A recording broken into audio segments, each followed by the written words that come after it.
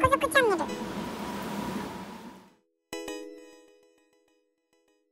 こんにちは。ご訪問ありがとうございます。猫族です。黒磯訓練を見るために、わずかな時間ですが訓練の停車駅である東鷲宮駅を初めて訪れました。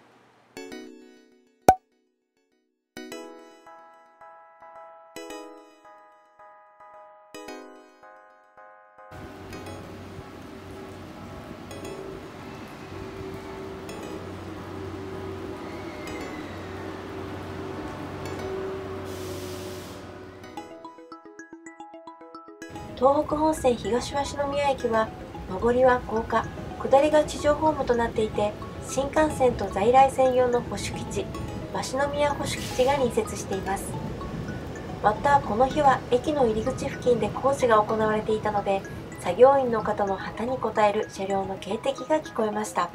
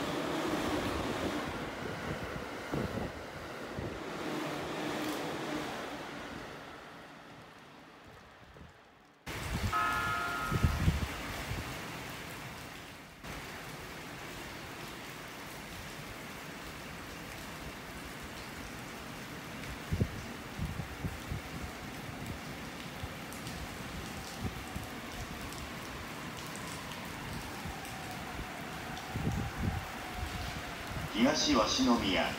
東鷲宮ご乗車ありがとうございま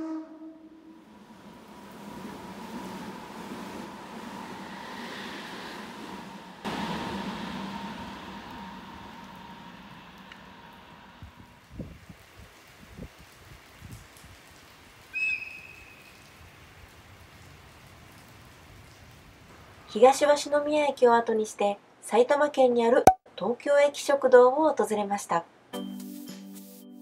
以前偶然見かけた看板の文字がとても気になっていてちょうどお昼時でしたので立ち寄ってみることにしました。名前の由来をお店の方にお伺いしたところ50年近くも前の話で東武動物公園駅がまだ杉戸駅だった頃駅員さんだった方が退職を機に始めたお店だそうではっきりと聞いたわけではないですが印象に残る名前そして東京への憧れのような思いも込めてつけたのかなとおっしゃっていました。仕出しのお弁当屋さんでもあるので今度はお弁当を注文してお出かけしたいと思います。それではまた別の動画でもお会いできれば嬉しいです。ご視聴ありがとうございました。